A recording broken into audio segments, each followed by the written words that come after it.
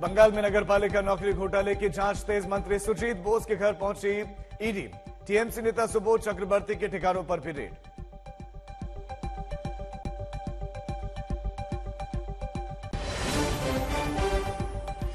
दो हज़ार चौबीस के मिशन महाराष्ट्र पर प्रधानमंत्री मोदी नासिक में युवा महोत्सव की करेंगे शुरुआत। नवी मुंबई में देश के सबसे बड़े समुद्र सेतु का उद्घाटन।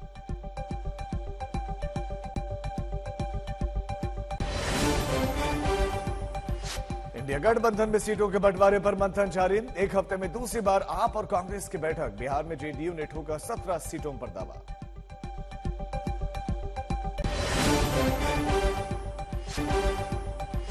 उधर भारत में ठंड और कोहरे का कहर। दिल्ली में 6 डिग्री पहुँचा तापमान।